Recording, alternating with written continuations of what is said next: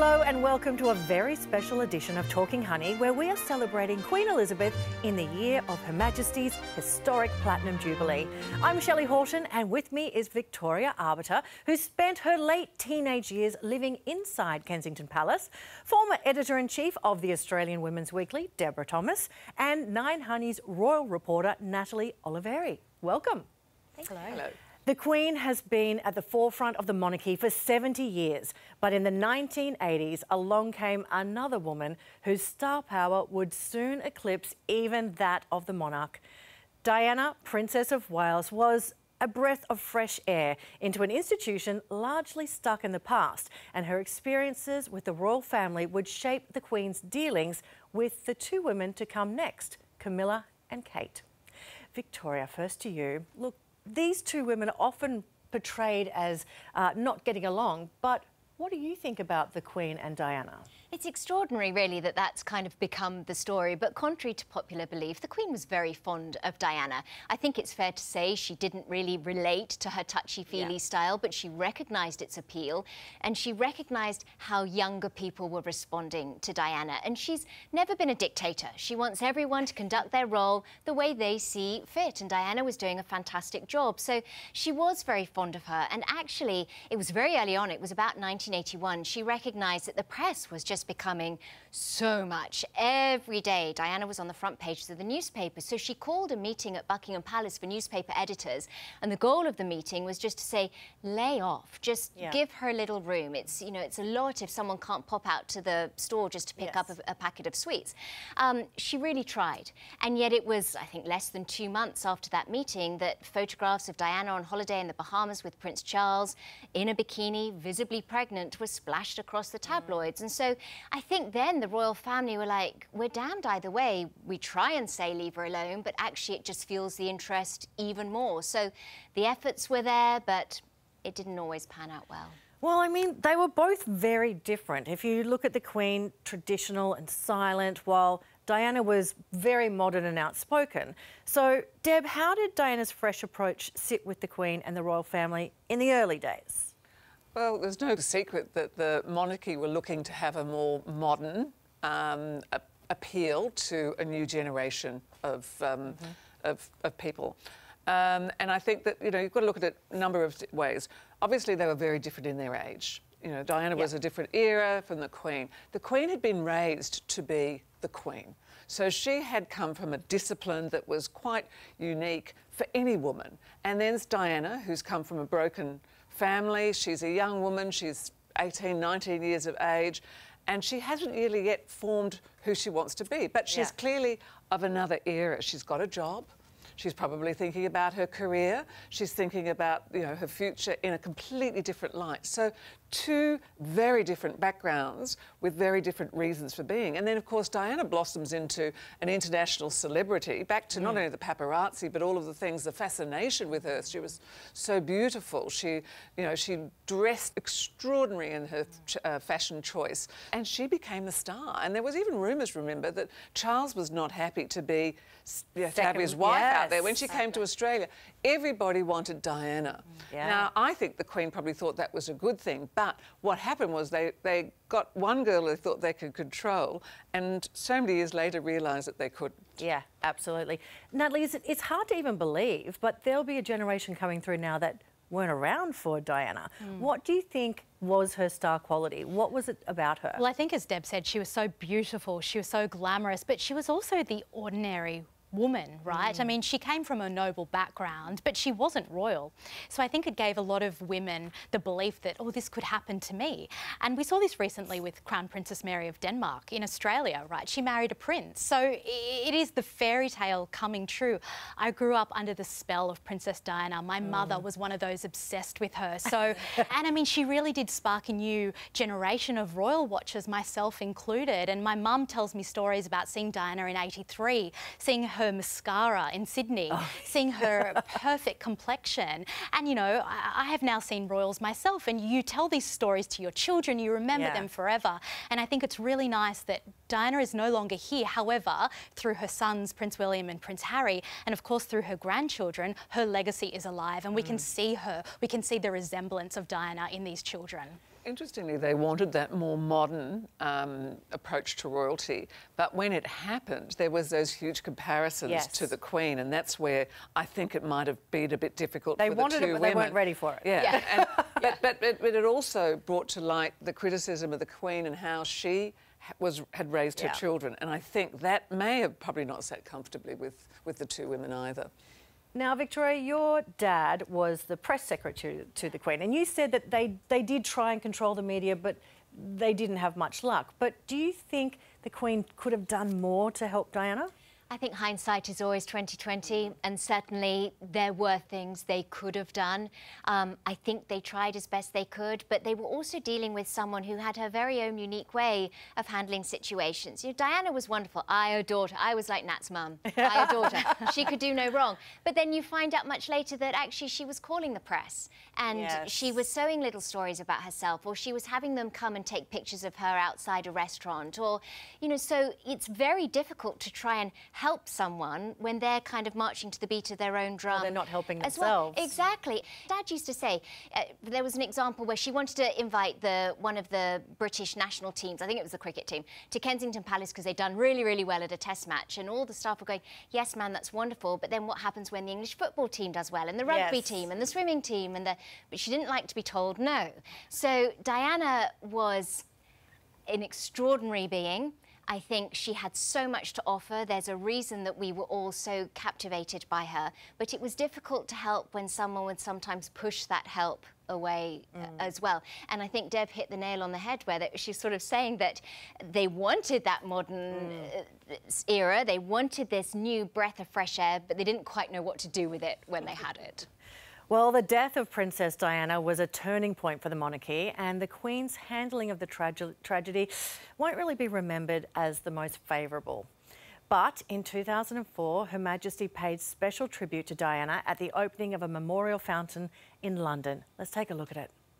But I cannot forget, and nor can those of us here today who knew her much more personally as sister, wife, mother, or daughter in law, the Diana who made such an impact on our lives. Of course, there were difficult times, but memories mellow with the passing of the years. I remember especially the happiness she gave to my two grandsons. And that's an important point, isn't it? It was about the grandsons. Now, the Queen got criticised when uh, she didn't speak out instantly about Diana's death, but she was looking after the boys then. Yeah, I think she went into grandmother mode at that time, and even the Queen's first cousin, Margaret Rhodes, has said that it was the first time in the Queen's life that she was being a proper granny, and that's because she had to deal with, you know, how William and Harry were coping with the loss of their mother. So they meant much more to the Queen than the public did, unfortunately. And you, you know, that's why they stayed in Balmoral for so long. It took a week for Her Majesty to return to London, but you know, so many years later, the Queen still can't shake that stain on her monarchy. Mm. I think it still remains a regret how she handled it. It's interesting, the Queen, the movie, the one with Helen Mirren, mm. tried to change the public perception by having Helen Mirren be a very empathetic Queen, right? And even still, that didn't quite change the public No, opinion, which is sad, I think. So, Victoria, do you think she learnt from that experience that it then impacted the way that she treated Kate and even Meghan? I think everybody learned from that situation. You know, the Queen doesn't want people to fail. She wants them to excel. Prince William actually said she never tells you what to do, but she's quite quick to let you know when she's not terribly pleased with how something has gone. But for the most part, everybody is left alone uh, to, to their own devices. But the Queen also likes to lead by example, and I thought it was really charming in 2012, so a year after Kate had married into the family, the Queen went to Fortnum and Mason for an engagement, and she took Kate and Camilla with her. And it was the first time the Queen had ever undertaken an engagement with two future Queen consorts. And it was an opportunity for her to lead by example, which is how she likes to do things, but it also signified her respect and her approval for the two women waiting in the wings. It was such a charming engagement. You know, they're going shopping together, albeit at Fortnum and Mason. It was very fancy. But it was such a success that Kate then joined uh, the Queen and Prince Philip for an away day in Leicester a, a week later. And the Queen has since done a number of engagements with members of her family. And it's something that the Queen Mother wouldn't have necessarily approved of. And that's not because right. of any negative feelings towards other members, but the Queen Mother was a real stickler for tradition. And she believed that if the monarch was there, they should be the central focus, they were the star Everyone attraction, everyone else steps back. Wow. Whereas suddenly there was the Queen with Kate and Camilla. But I think it was uh, the public was ready for that. Again, changes in expectations and yeah. generations. And I think it's been really charming to see the Queen do that. So, Deb, the Queen has backed Camilla and said that she will be the Queen consort when Prince Charles is king. And this has been thanks to a bit of a turnaround and a bit more support for Camilla. What do you think? I was a huge Diana fan and did oh. not like Camilla at that particular time, but I have done a complete turnaround. I think really? she's she's really conducted herself very, very well. She's um, clearly, you know, Charles has always been in love with her. The fact was that Charles was forced to marry Diana. Yeah. He was not allowed to marry Camilla because she was you know, she divorcee. was a divorcee. Um, at the time when they married, there was reports that the Queen says she will never be Queen, and a lot of people going, she will never be Queen, particularly a lot of the Diana fans. But I think that Camilla is intelligent. She's clearly a lot of fun. She's independent. She's been wonderful for Charles. You often see her with the Queen talking, and the Queen is having a bit of a laugh. Yeah. I think they get on very well, and I think she's earned the right to be Queen consort. Mm. Well, the next future Queen consort after Camilla is the Duchess of Cambridge, who rarely speaks about the Queen. But for the monarch's 90th birthday, Kate revealed what Her Majesty is like as a grandmother. Take a look. It's very special having a new little girl to, to the family. Very, very lucky that George's got a little sister. The Queen, she was really thrilled that it was a little girl. And I think as soon as we came back here to, to Kensington, she was one of our first visitors here. I think she was very fond of Charlotte, always watching what she's up to. George is only two and a half. He calls her Gangan. She always leaves a little gift or something in, in their room when we go and, go and stay, and that just shows, I think, her love for her, her family. That's such a grandma thing to do, leave a little present behind. um, so, do you think the Queen has made an extra effort to help Kate I certainly think she has. You know, William and Kate have benefited from the fact that William is not yet the Prince of Wales, so there's not the same demands on his time that there were on Charles and Diana when they first married. But I think the Queen shares a very warm relationship with Kate. They have a lot of interests in common art, nature. Um, the, the, children, of course, photography is a huge mm. one. The children are an absolute delight. And I thought it was really charming in, uh, when Kate gave one of her very first television interviews was about the Queen and about how she was going to Sandringham for Christmas. I think it was around the Queen's 90th birthday and she was saying, what do you get the Queen for Christmas? and a, valid question. Um, and so she was thinking about it, thinking about it, and so she decided to make her grandmother's chutney. She used that recipe uh -huh. and she gave it to the Queen. And when she came down to breakfast the next day, that chutney was sitting on the table, which was such a warm gesture. Again, a very family, grandmother, yes. matriarch type thing to do, but something you wouldn't necessarily expect from the Queen, that that might be just tucked away mm. in the hmm. royal larder and never to be seen again. But the Queen made sure it was on the table the next morning. And I think she's happy to see William so happy. William was allowed to marry for love. He and Kate have been together for mm. an extraordinary number of years before they married. And I think the Queen really enjoys that relationship. So, Deb, Meghan, the Duchess of Sussex, was very critical of the monarchy, alleging that she didn't get much help at all after marrying Prince Harry. Yet the Queen did take Meghan out for some solo engagements, like just months after the wedding, and it looked like they were pretty tight. What did you read into that? Well, she'd often have her sitting next to her yes. at the races. And they'd and, be laughing. And, and, they'd be laughing. And, and I thought that she took her under her wing. I wish Meghan would stop whinging, to be honest. Oh! I mean, the fact is that she knew what she was getting into. She was a, you know, she's much older than Diana when she married Charles. Mm. Um, she's an actress, she's American, a whole different way of being. What did she want the Queen to do? Um, you know, what did she expect? Certainly, maybe she could argue that there may have been more help from palace staff if that's what she wanted, but I'm sure as soon as she asked, they would have been there to do that. Mm. So frankly, I think that she's, you know, it's just another reason for her to make a comment, a negative comment about the Queen. But from all of the pictures that I saw and the footage I saw, I thought the Queen really embraced her very beautifully. The, the wedding and all of these sorts of things. And as I say, for goodness sake, could you just find something nice to say? Nat? Look, I, I, do agree with a lot of what Deb has said. I mean, even around the wedding, when there was all this yes. fiasco about the tiara and whether the Queen wouldn't let her wear a tiara, I mean, a lot of it was probably nonsense. But look, I think, you know, we're going to see something very different from Kate and Camilla yes.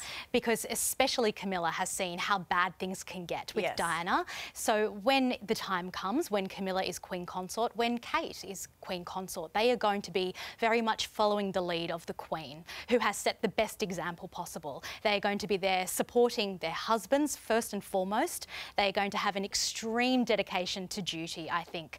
And also with Kate, she's seen how things can go badly with Meghan yes. too, and yes. certainly won't want that to be repeated. So I think the monarchy's in great hands with William and Catherine, and also with um, Prince Charles and, and the Duchess of Cornwall. And Meghan can stay in America. On the, with some agitators yeah. on the side. Some rather loud Thank voices. you so much to our experts, Victoria, Deborah and Natalie, for their insights. If you want more royal news, please visit 9honey.com.au.